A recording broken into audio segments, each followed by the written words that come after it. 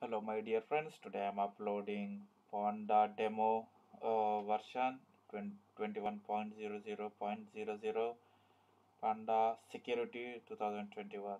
This is antivirus I'm installing now. It will take ti- times uh, around 5 minutes for installing.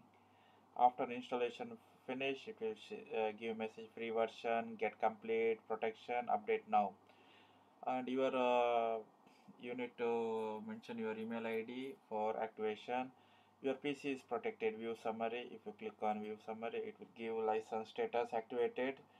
Panda free antivirus my product and file scanned treat block. If you click on the scan button it will sh- uh, show you message of critical area full scan custom scan. If you click on custom scan it will show your partition cd or e or your desktop uh, after that you can click uh, close. After it will show antivirus. Click on last scan. It will uh, see when it is happened and quarantine. And schedule scan. If you want daily basis scan click new or frequency like uh, which time morning or evening. After cancel go back.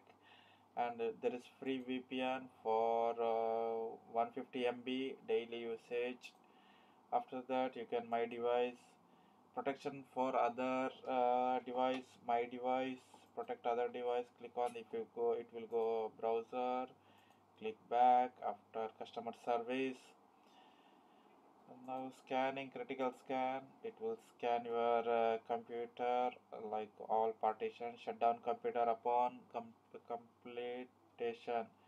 Show details it will show event more details time status high details you can make uh, it is free antivirus free demo antivirus my dear friends. If you like my video please subscribe or like or comment.